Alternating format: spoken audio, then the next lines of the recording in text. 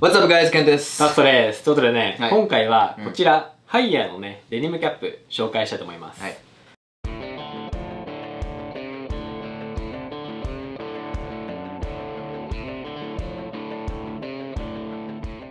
で、こちらのハイヤーのデニムキャップなんだけど、うん最近ね、デニムキャップ探してて、そのなんかいいのないかなと思って、うん見つけたのがこちらの商品だったんだけど、はいハイヤーっていうブランド自体は、うんこう2014年うん。にできたね、ブランドらしくて、うん結構新しいね。そうだね。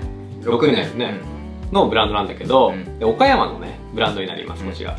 岡山と言ったらやっぱりデニム。そう。だねうんで岡山って言ったら本当ね、国産デニムの産地。そうだうね。ん。でも本当一番有名、日本でね、デニムの産地としてうん。有名なんだけど、その岡山デニムを使ってて、岡山で縫製もされてるうん。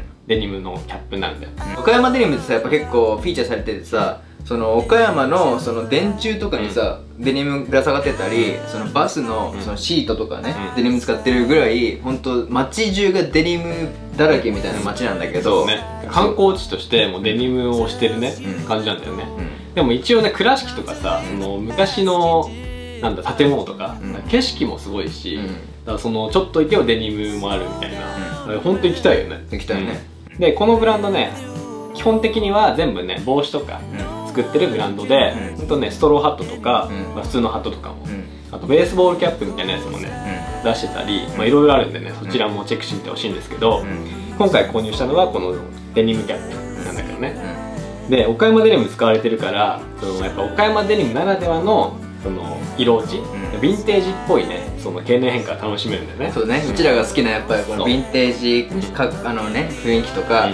やっぱり育てたいじゃん。そう。ね。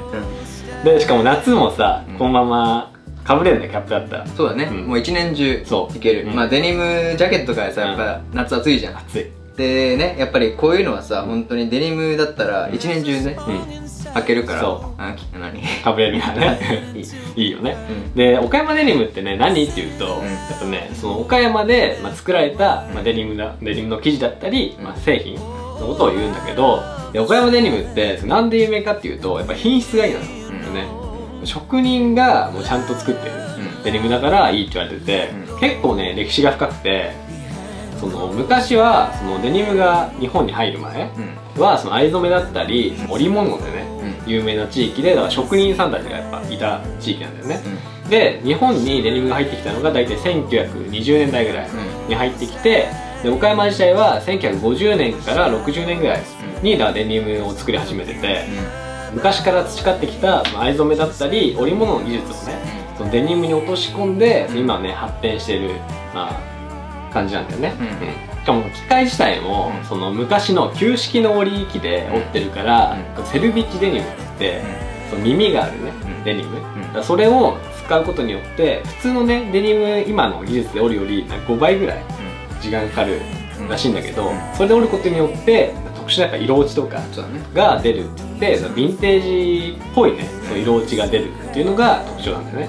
そう今はさそのデニムの機械ってさやっぱ進歩してて、そう耳がないじゃん、うん。で耳ないから、そうすごいスピードで折れんだけど、やっぱ色落ちとしてはさやっぱ全部が均等になっちゃっていい色しないんだよね、ムラがないっていうか。でだからそのね昔の織り機使うと、うん。まあその耳が目印っていうか耳で、がで止めるんだけど、うん。それでやっぱりねムラができるんだよね。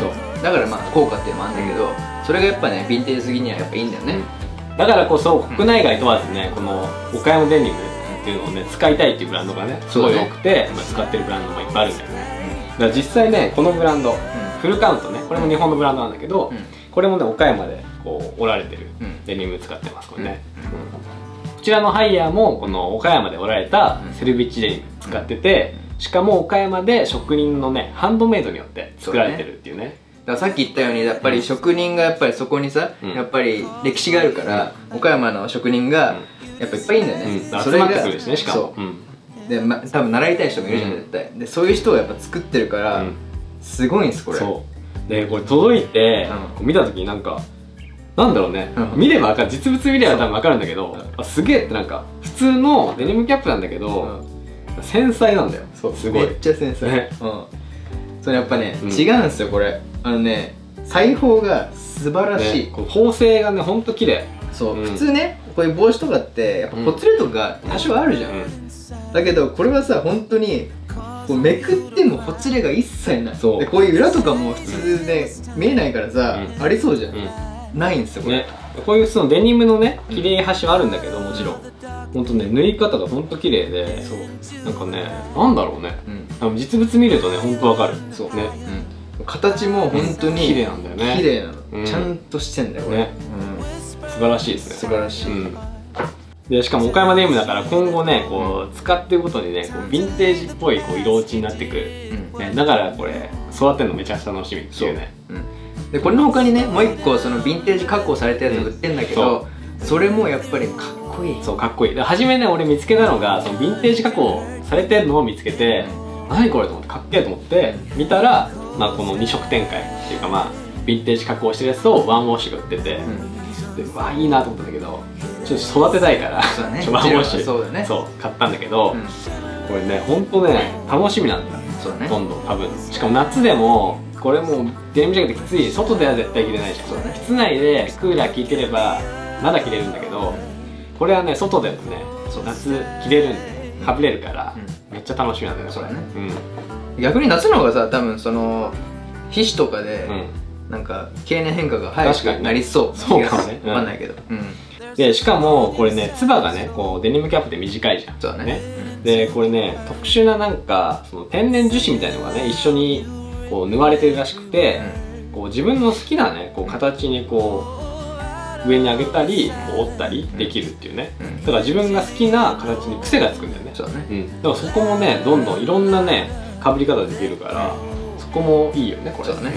うん。でしかもこの樹脂はさこう折れないからなんか、こう柔らかいからさデニムだからね、こうめちゃくちゃコンパクトなんだよこれ、コンパクトになるからほんとちょっとしたバッグの隙間とか、ショルダーバッグとかにも入れられるから、ほんとね持ち運びがめちゃくちゃ楽。そうだね。すごいよねこれ普通のねキャップってこう硬いじゃん。そうだね。つばが。だからねバッグとか入れるとなかなかねこうしまう場所ないんだけど、うん。これだったらねポイって入れられるからね。すごい。めっちゃちっちゃくなるね。正直ここにも入るぐらいだよ。本当だね。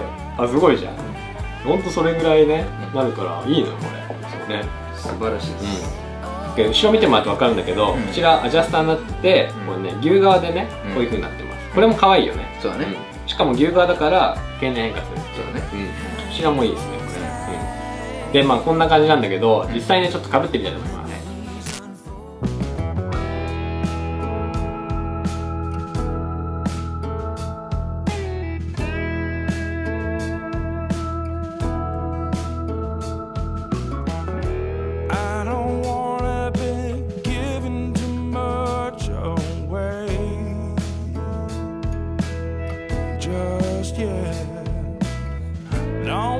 spilling my guts to someone I just met. はいということでねかぶってみました、はい。今もかぶってるんですけど、うん。いいわ。これ、かっこいいね。うん、かぶり心地もねめちゃくちゃいいんだよこれ。そうだね。んやっぱ合ってんだよねうん。ちゃんとしっかり。本当今デニム大好きマンみたいなんだよねやばいね。うん。かっこいいよね。でこれやっぱりさっきも言ったけど、うん。そのやっぱりいろんなかぶりができるんだよね。さっきこう折ってかぶるのと上に上げたりできるし、でこうもいるね。そう。やっぱりそこがいいよね。しかもコンパクトにできるってやっぱりいいっす、そう夏ってやっぱ日差しがさすごいから、ちょっとした時に帽子忘れだったみたいなさ結構きついじゃん。確かにね。でこういうの入ってたらわあってよかったとかそうだね。熱中症対策にもなるしね。なるね。うん。うん。全然いいよ俺ね、はい。うん、でしかもこのハイヤーのねそのインスタグラム見たらさ、職人が手作業でその作ってるなんかムービーみたいなのもあって、うん。すごく面白いんだよね。面白いねそうどういうふうに帽子が作られたとかさ、あとやっぱりさっき言ったようにこのユーズド加工のやつとかもさヤスリでさ職人が一つ一つやってうんん、だよね。ね。ビビったね。そう。だからすごい手間かかるし、うん。やっぱすごいこだわってんなっていうのが分かる。うん。ユースワークだとだからちょっとね1000円ぐらい値段上がっちゃうんだよ、だからそれもね見ればやっぱそんな手間かかんのぐらいやっぱあるからいいよね、うん、でしかもストローハットのさ、動画あったじゃん。ストローハットだかなあれ、1枚なんていうの線を1枚じゃこう渦みたいにさこう縫っていくみたいな。ああそうね。手間汗がすごいな。作ってんだと思ってね。そういうのも見えるからちょっと面白いですね。であとこのねデニム気になった方はね下にねリンク貼っとくんでそちらからもねよかったら見てみてください。高評価とかコメントとかくださるとね本当にうちら嬉しいんでよかったらお願いします。であとチャンネル登録済ましてない方はチャンネル登録お願いします。では次の動画でお会いしましょう。バイ